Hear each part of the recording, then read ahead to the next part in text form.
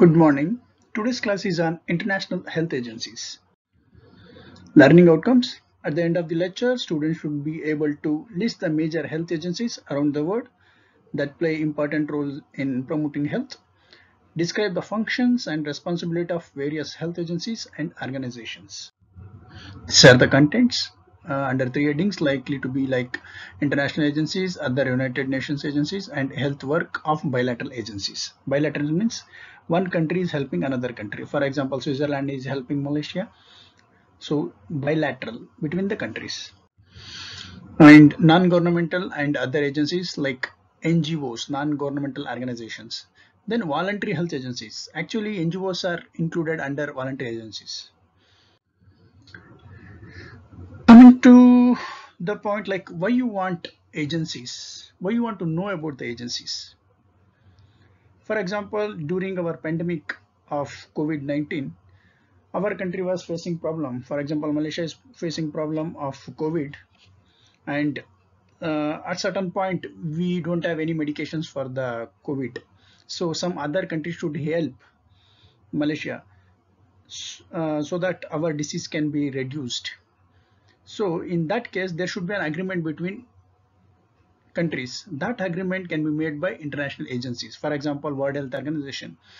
So it will help other countries to get proper medical aid. So we need international health agencies. So nothing on earth is more international than disease. I think you will agree with this statement. Health and disease have no political geographical boundaries. Yes, disease in any part of the world is constant threat to the other parts. Definitely because the pandemic of uh, COVID-19 started in Wuhan and it's progressed to all over the world. So disease is any part of the world is constant threat to other parts. History is replete with examples of spread of pestilence, particularly of plague, cholera along trade routes. In order to protect against the spread of this kind of disease from one country to another country, it should be quarantined. That's what we are doing now. Quarantine failed in its objective because of the lack of scientific knowledge regarding the causation and mode of spread of disease. It became necessary for international agreement and cooperation on quarantine matters to control communicable diseases. International conferences were held and organizations set up for discussion, agreement and cooperation on matters of international health. The first such international sanitary conference, which was held in 1851, the origin of international health cooperation dates back to 1851 when an international sanitary conference, the first of its kind, was convened in Paris. The conference was attended mainly by European countries like Austria, France, Great Britain, Greece, Portugal, Russia, and four sovereign states. I think these are the countries who are suffering more because of COVID in the present situation. The objectives of this conference was very limited, that is to introduce some order and uniformity into quarantine measures which are varied from country to country. So there was no uniform rule in quarantine. So this conference established a uniform rule for the quarantine like in those days there will be trade routes. Like this route only there has to go to trade. So there was no uniform quarantine method. So these countries so-called developed countries at the present time were agreed for quarantine agreements in this conference. Pan american sanitary bureau the next important milestone in international health work was the establishment of Pan American Sanitary Bureau in 1902 in America. It was primarily intended to coordinate quarantine procedures in American states. In 1924, an important document was signed by American Republic, namely the Pan American Sanitary Code, which is still in force between the states. In 1947, the Bureau was recognized and organization was called the Pan American Sanitary Organization. The Pan American Sanitary Bureau was world's first international health agencies. So we may ask which is the first international health agencies. So don't confuse with the World Health Organization. The first was Pan American Sanitary Bureau. Coming to the World Health Organization, this is uh, one of the major international agencies. The World Health Organization is specialized non-political health agencies of the United Nations with headquarters at Geneva. Coming to the objectives of World Health Organization in the abbreviated form WHO, the current objective of the WHO is the attainment by all people of the world a level of health that will permit them to lead a socially, economically productive life.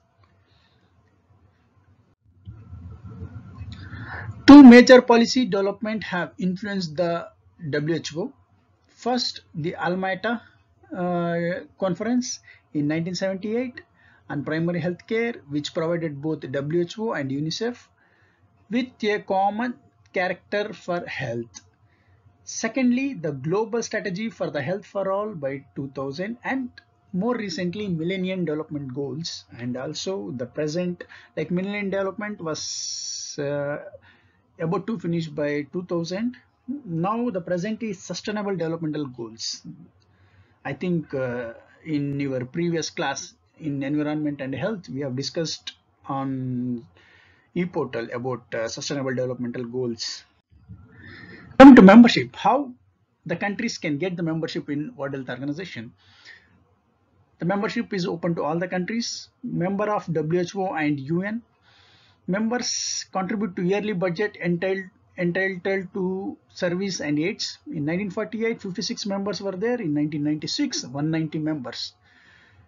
Regional director is the technical and administrative head. Decentralization is very much needed and it is decentralized to six regional organizations like regional country and regional office. Coming to the regions, like in Southeast Asia, the headquarters is in New Delhi. In Africa, it's in Congo. In America, it's in Washington. Then in Europe, it's in Denmark. Eastern Mediterranean, it's in Cairo. Then Western Pacific, it is in Manila, that is Philippine. Coming to the members, head office, director general, one deputy director and five assistant director. There will be 4,500 staff members, that is 30% in the regional office and 30% in the headquarters, that is in Geneva then 40% work in individual countries. Come to staff pattern. See, staff like medical and public health specialties, nursing and pharmacy, dentistry, veterinary, sanitary, engineering, biology, chemistry. So most of the areas have covered here. So WHO consists of almost all the area. That area should be related to the health or public health or animal health. Coming to the structure of WHO, the World Health Assembly is the first, then the second is the Executive Board, then third is the Secretariat.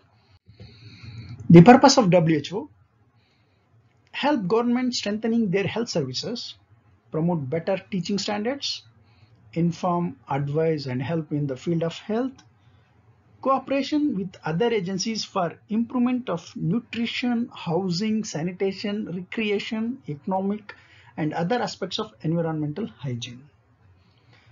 Cooperation among scientific and professional group promote maternal and child health welfare and foster ability to live harmoniously in changing environment. Foster activities in the field of mental health. This is very important in the present scenario The purpose conducts the research in field of health, stimulate eradication of epidemics, endemic and other diseases, propose international conventions and agreements in the health matters, develop international standards for food, biological and pharmaceutical products, developing informed public opinion, cooperation with other agencies, advisory services, aiding professional and technical education by providing fellowships exchange scientific information and distributing aids. Publications of WHO like books and journals on public health, technical publications, publishes PHC material and manual policy papers and articles, handbooks on basic documentation, resolution of decisions, monthly chronicles, bulletin like scientific articles supported by WHO, monographs and WHO technical report series, public health papers, international digest of health legislations. Work of WHO. There are many works. Here I am going to highlight only eight The first is prevention and control of specified diseases, development of comprehensive health services, family health, environmental health, health statistics, biomedical research, health literature and information, cooperation with other organizations. World Health Days of importance, for example, in the 30th of January, which is Anti-Leprosy Day, 7th April, World Health Day, 22nd April, World Habitat Day, 31st May, No Tobacco Day, 1st July, Doctor's Day, like that, till the December of each year, like 11th December is UNICEF Day. These are some of the days we have to celebrate according to WHO guidelines. Other United Nations agencies like UNICEF, the expanded form of UNICEF is United Nations International Children's Emergency Fund, which was established in 1946. It works in close collaboration with WHO, FAO, and UNESCO. The expansion form will be in the next slides. It's covered in the fields as the maternal and child health, nutrition, then environmental sanitation. Especially the provision of water supply to rural communities, health centers and health education and programs which benefit child health. Coming to the contents of services, child health, child nutrition, family and child welfare, education which includes formal and non-formal. Coming to child health, UNICEF has provided substantial aid for the production of vaccines and sera in many countries, environmental sanitation program and pure water supply. The purpose is not only to reduce child illness and death, but to improve the quality of life in the villages of the member countries. Coming to child nutrition, high priority to improving the child nutrition in collaboration with FAO, Food Agriculture Organization.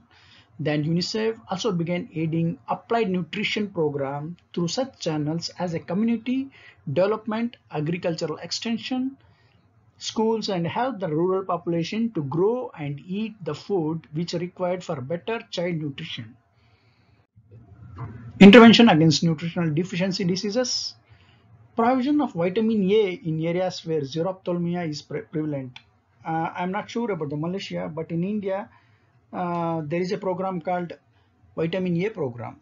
Like each month, uh, the midwife, like uh, the people who are in the primary health center will visit the school and they will deliver vitamin A supplements to the children. So that was the national program which is running in India. Then iodine in areas of endemic goiter, provisions of iron and folate supplements to combat anemias because most of the pubertal girls will have anemic problem and uh, the lady who is pregnant they are facing anemic problem. So for them government is providing free iron tablets in many countries. So these are the functions of unicef. So family and child welfare the purpose is to improve the care of children both within and outside their homes. Then parental education then through youth agencies and women's club, women's club. Education and formal and non-formal in collaboration with UNESCO, UNICEF is assisting India and other countries to improve of teaching science in India as well as in Malaysia. Like science laboratories, establishment of science laboratories, then workshops, tools, library books, then audiovisual aids for being made available to education institutions then currently UNICEF is promoting a campaign known as GOBI. The G stands for growth charts to better monitor the child development. Then O stands for oral rehydration to treat all mild and moderate dehydrations. Then B stands for breastfeeding. Then I stands for immunization. Coming to the next agency, which is International Red Cross. Don't confuse with the Red Crescent. Maybe the functions are same, but still International Red Cross is different. The Red Cross is non-political, non-official international humanitarian organization. It was funded, founded by Henry Dunant, a Swiss businessman, after seeing a result of Battle of Solferino. The Red Cross was born in 1863. Its emblem was red cross on a white background. The seven fundamental principles of Red Cross and Red Crescents first is humanity, impartiality, neutrality, independence, voluntary services, unity, and universality. Coming to humanity, its purpose is to protect human life and health and to ensure respect for the human being. Then impartiality, it makes no discrimination as to nationality, race, religious belief, class or political opinions. Neutrality, the movement may not take sides in hostilities or engage at any time in controversies of political, racial, religious or ideological nature. That means this agency should stand in neutral place. For example, if there is a war between uh, South Korea and North Korea, the Red Cross should help both the countries, both South Korea and North Korea, and it should not support only one country. That's what this means.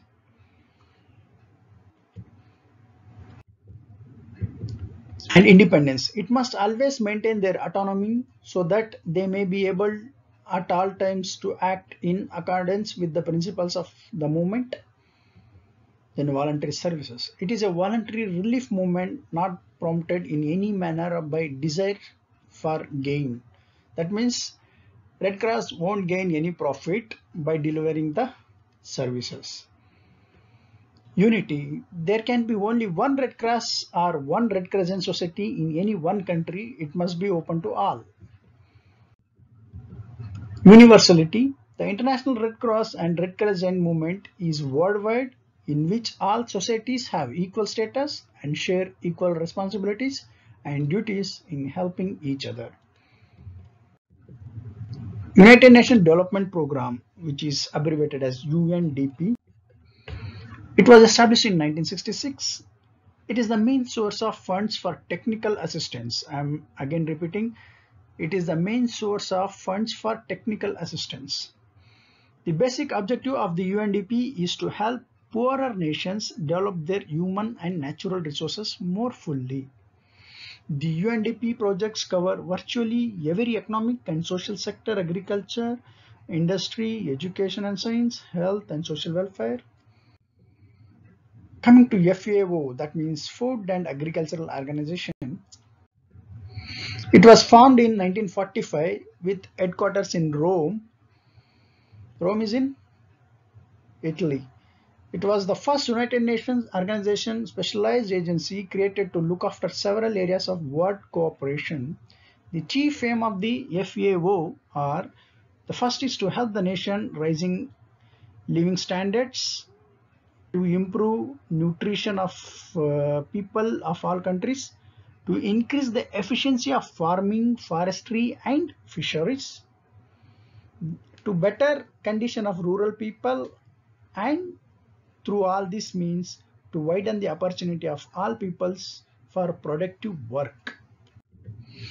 The most important aspects of FAO work is towards ensuring that the food is consumed by the people who need it in sufficient quantities and in right proportion to develop and maintain a better state of nutrition throughout the world.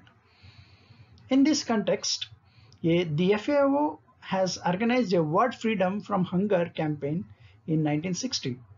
The main objective of the campaign is to combat malnutrition and to disseminate information and education. The FAO is also collaborating with other international agencies in the applied nutrition programs the joint program between WHO and FAO expert committee have provided the basis for many cooperative activities like nutrition survey, training courses, seminars and the coordination of research programs in brucellosis and other zoonoses. International Labour Organization, which is abbreviated as ILO, in 1919 the International Labour Organization was established as an affiliate of League of Nations to improve the working and living condition of the working population all over the world. The purpose of the ILO are to contribute to the establishment of lasting peace by promoting social justice, to improve through international action, labor conditions and living standards, to promote economic and social stability. The International Labour Code is a collection of international minimal, minimum standards related to health, welfare, living and working condition of workers all over the world. The ILO is provides assistance to organizations interested in betterment of living employment standards. There is a close collaboration between ILO and WHO in the field of health and labor. The headquarters of ILO is in Geneva. Come to the World Bank.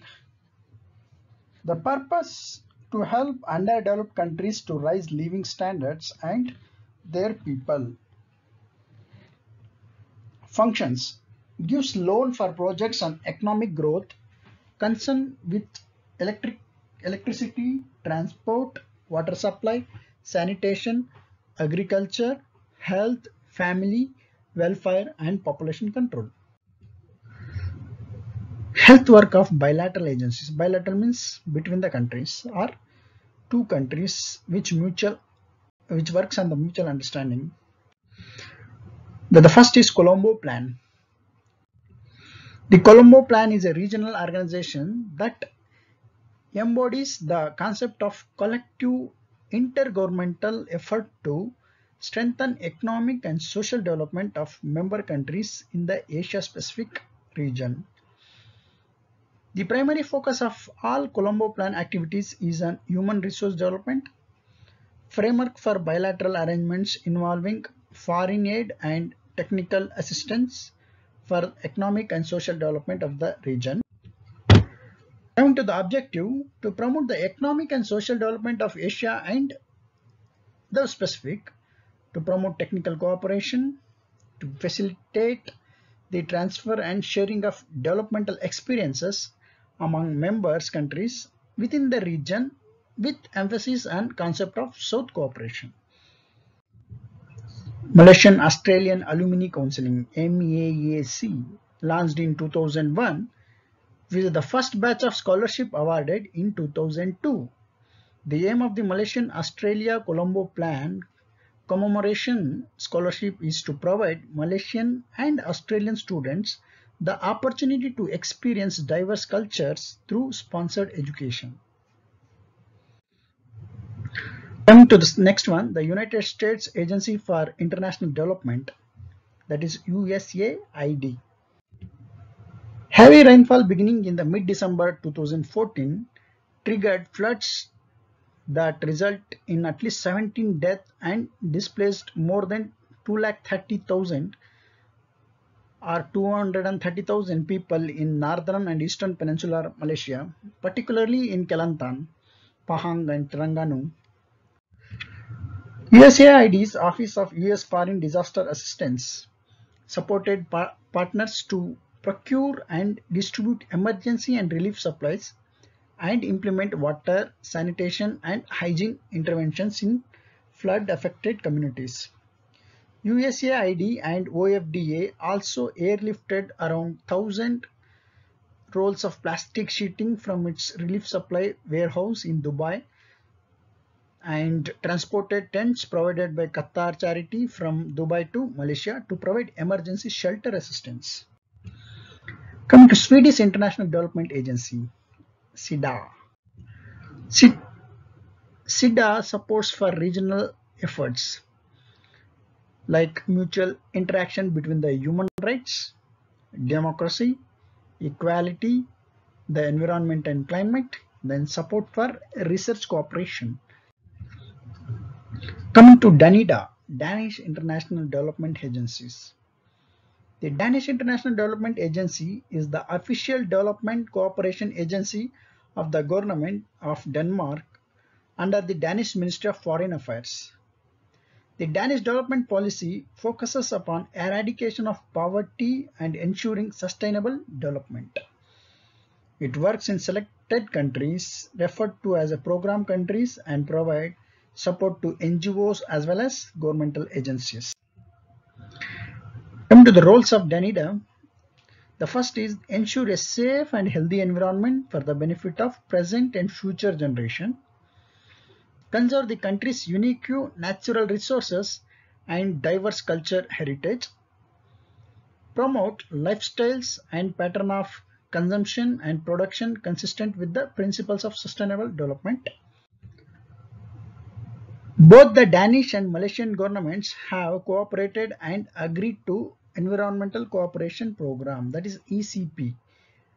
One of the five areas involved in the current phases of Malaysia Danish International Development Assistance cooperation is solid waste management funded by Danish government was established to provide support and assistance on federalization of solid waste management to the Department of National Solid Waste Management under the Ministry of Housing and Local Government. Come to non-governmental and other agencies. The first is Rockefeller Foundation. Rockefeller Foundation is a philanthropic organization chartered in 1913 and endowed by Mr. John D. Rockefeller. Its purpose is to promote the well-being of mankind throughout the world. In its early years, the foundation was active chiefly in public health and in medical education. Subsequently, its interest was expanded to include the advancement of life sciences, social sciences, the humanities and agricultural sciences. The International Council on Management of Population Programs received the most grants by Rockefeller Foundation. Coming to the Ford Foundation, Malaysian AIDS Council received a grant from the Ford Foundation and it is sister organization. The Malaysian AIDS Foundation received grants of for the Levi Strauss Foundation from the Levi Strauss Foundation. Both these grants were earmarked for regional conference on HIV or AIDS. International Red Cross or Red Crescents. Non-political, non-function official international humanitarian organization, organization devoted to service of mankind in war and peace, founded by Henry Dunant, International Committee of Red Cross came into existence in 1864, League of Red Cross establishment in 1990, which is headquarters in Geneva, work of Red Crescent, help and relief during natural disasters, service to armed forces, service to war veterans, program on first aid and nursing, programs on health education, providing maternity and child welfare services. Red Crescent Society of Malaysia, the Malaysian Red Crescent Society, that is MRCS, has its beginnings in 1948 as branches of British Red Cross Society in Sabah and Sarawak. In 1950, the British Red Cross Society further established branches in the other parts of Malaysia, starting in Penang in 1950 and later in other states. Community service program and medical treatment, first aid training and ambulance services, disaster management, maintenance of blood banks and restoring family. International health agencies for dental care like American Dental Association, American Dental Hygienists Association, National Dental Association, National Institute of Dental Research, Federation Dentaire Internationale, Federation Dentaire Internationale that is FDI which is an international dental health agency established in 1900 at Paris, headquarters in London. The aim is to advance in the science and art of dentistry and status of dental profession in interest of improved oral health for all people. Achievements like CPITN with WHO, Anti-AIDS Initiative and IDP, Oral Health Development, International Dental Journal, four scientific commissions, CORE that is Commission on Health Research Epidemiology, CDEP Commission on Dental Education and Practice, CDP Commission on Dental Products, CDFDS Commission on Defense Forces and Dental Services. Coming to voluntary health agencies. A voluntary health agency may be defined as an organization that is administered by an autonomous board which holds the meeting, collects funds for support chiefly from private sources and expense money, whether with or without paid workers in conducting program directed primarily to furthering the public health by providing health services or health education or by advancing research or legislation for health or by combination of these activities. The voluntary health agencies have been compared to motor trucks which can penetrate the, bay, the byways. The official agencies are compared to railway trunk lines which must run on tracks established by law. That means the voluntary agencies will go to all the areas like the rural areas where uh, the official agencies can't go.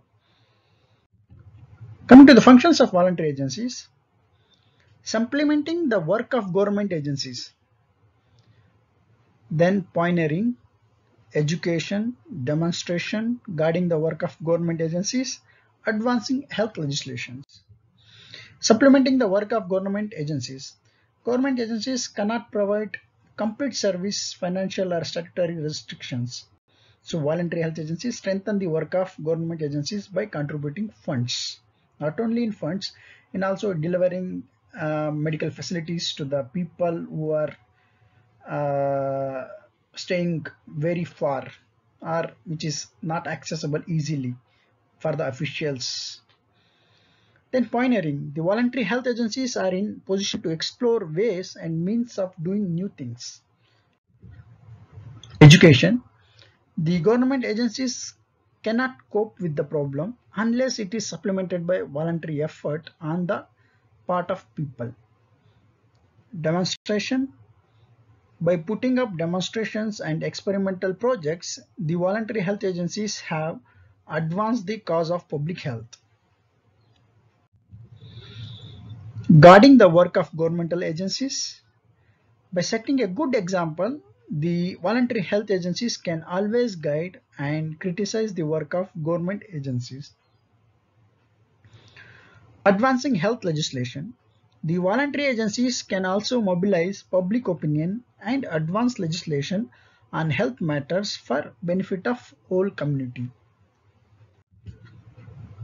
Voluntary health agencies in Malaysia the first is Amnesty International, which is aimed to protect human rights, expose any violation, and mobilize people to put pressure on governments and others to stop these violations. Befrienders. These are hotline service providing emotional support for depressed or suicidal callers.